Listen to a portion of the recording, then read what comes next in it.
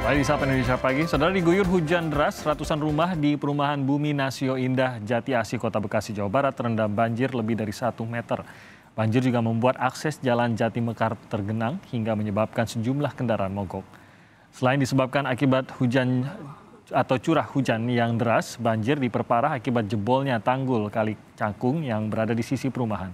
Tim gabungan tanggap darurat dari BPBD Kota Bekasi, Tagana, dan relawan yang diterjunkan ke lokasi banjir berjibaku melakukan evakuasi sejumlah warga ke lokasi yang lebih tinggi menggunakan perahu karet.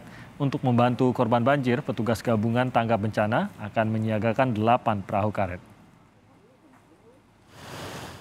Banjir juga terjadi di Kabupaten Sintang, Kalimantan Barat. Tidak hanya merendam permukiman warga di pinggiran sungai, kini banjir mulai menggenangi ruas jalan protokol dan juga kawasan perkantoran.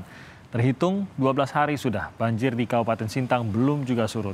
Air bahkan terus naik dan rata-rata hingga 15 cm setiap hari.